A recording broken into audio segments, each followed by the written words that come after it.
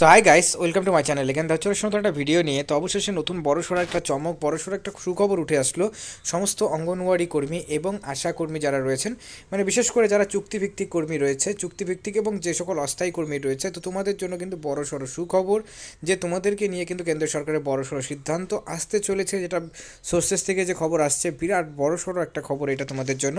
যেখানে কিন্তু তোমাদের ন্যূনতম বেতন মানে বেতন বৃদ্ধি যেটা তোমরা বলা হচ্ছিল, যে বেতন বৃদ্ধি বেতন বৃদ্ধি করে তোমরা যে বলছিলে, এবং সেখানে তোমাদের যে দাবি দাবা ছিল যে একুশ হাজার টাকা করে বেতন যাতে করা হয়, দশ হাজার টাকা করে পেনশন করা হয়, সে সেই দিক দিয়ে দেখতে গেলে কিন্তু তোমাদের একটা ন্যূনতম কিন্তু একটা বেতন তারা ধার্য করতে চলেছে কেন্দ্রীয় সরকার, সেটা হচ্ছে তোমাদের পনেরো হাজার চারশো টাকা সামথিং এটা কিন্তু তোমাদের ধার্য করতে চলেছে এবং এটা দু হাজার চব্বিশের আগেই কিন্তু করা হবে, এ নিয়ে কিন্তু বৈঠক হচ্ছে, বৈঠকও করা হয়েছে এবং এই রিগার্ডিং আপডেট তোমরা এই বছরের শেষেই মানে দু হাজার তেইশের শেষে ডিটেলসে পেয়ে যাবে এই ব্যাপারে।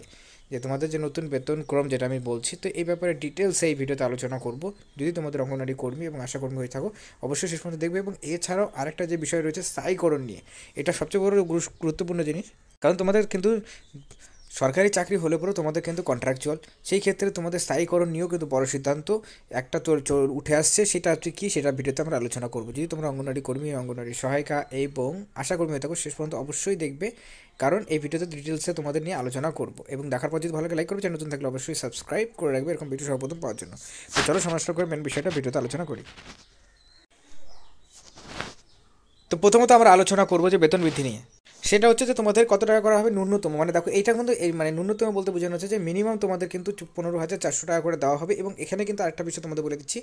অভিজ্ঞতা মানে অভিজ্ঞতার ভিত্তিতে কিন্তু এখানে বেতনক্রমটা চালু হতে চলেছে। মানে নতুন একটা নিয়ম এখানে কিন্তু রাজ্য সরকার সরি কেন্দ্র সরকার আনতে চলেছে, যেখানে পনেরো হাজার চারশো টাকার থেকে স্টার্টিং কারণ তোমরা জানো অলরেডি যে যে কোনো কেন্দ্র সরকারের যে জবগুলো থাকে, সেখানে কিন্তু যদি কোনো নোটিফিকেশনও তোমরা দেখবে দেখার লেখা থাকে আঠেরো হাজার টাকার থেকে তেইশ হাজার টাকার মধ্যে বেতন হবে। তো এইভাবে করে কিন্তু বেতনটাকে দেওয়া হবে। এক্ষেত্রে ন্যূনতম বেতন কিন্তু পনেরো হাজার চারশো টাকা এবং তোমাদের উচ্চতম কিন্তু সেটা অনেক হতে পারে, তেইশ হাজার হতে পারে, একুশ হাজার হতে পারে, ঠিক আছে? এইভাবে করে কিন্তু বেতনটাকে দেওয়া হবে এবং এটা দু হাজার চব্বিশের আগেই কার্যকর করতে চলেছে কেন্দ্রীয় সরকার এবং এটা শুধুমাত্র যে পশ্চিমবঙ্গে সেটা নয়, এটা প্রত্যেকটা রাজ্যতে, ঠিক আছে? যে সকল রাজ্যতে টোটাল আমরা জানো যে তোমাদের টোটাল পঁচিশ লক্ষ পঁচিশ লক্ষ কিন্তু অঙ্গনওয়াড়ি কর্মী রয়েছে, ঠিক আছে? টোটাল পঁচিশ লক্ষ অঙ্গনওয়াড়ি কর্মী রয়েছে।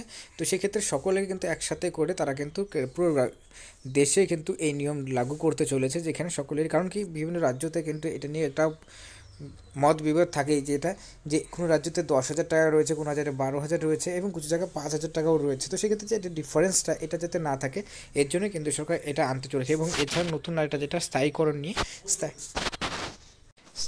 স্থায়ী স্থায়ীকরণ তোমাদের কিন্তু করানো হতে পারে। এই ক্ষেত্রে স্থায়ীকরণের নতুন একটা নিয়ম তোমাদের আসতে পারে, যেখানে তোমাদের কিন্তু স্থায়ীকরণ একদম পারমানেন্ট যেরকম ছিল সেরকম না হলে পরেও তোমাদের কিন্তু এখানে স্থায়ীকরণের একটা আলাদা একটা তোমাদের ডকুমেন্টস দেওয়া হতে পারে সার্টিফিকেট দেওয়া হতে পারে, ঠিক আছে?